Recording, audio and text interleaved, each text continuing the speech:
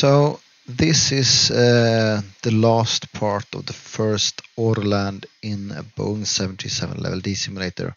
And I just wanted to show you how autopilot lands the plane.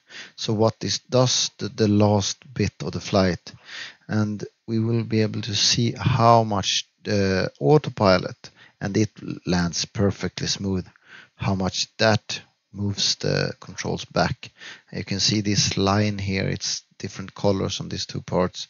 So yeah, my friend is moving uh, the, the camera a lot, but you can at least get a feel how, how much it moves moves the controls. So let's go. And now we use the Cat 1 minimums. Yes, it doesn't matter because we're VMC, but yeah. Otherwise we could have, could have had... Uh, so I'm holding in the yoke, but uh, it's the it's autopilot that lands the plane, so I'm not flying at this moment. I'm just holding there.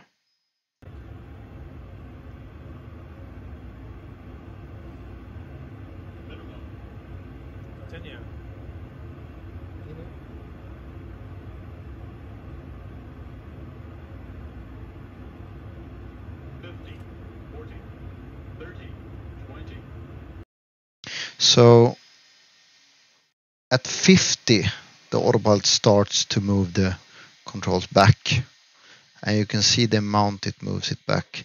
I would estimate between 5 and 10 centimeters. This is three thumbs, so it's about 9 centimeters. Uh, 3 inches, I mean 3 inches. So it's about the thickness of the control column is about 9, uh, 9 centimeters. Um, so this was at 50. Let's go back and look at that again.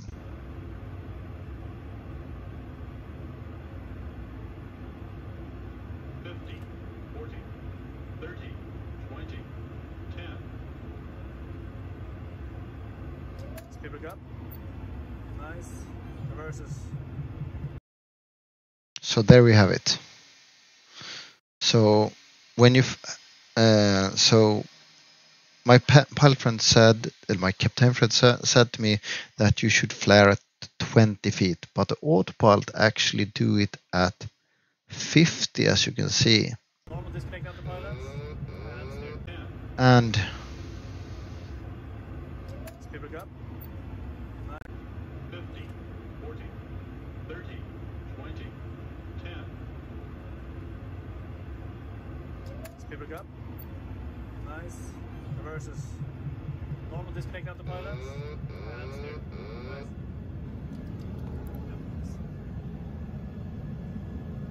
so there we have it.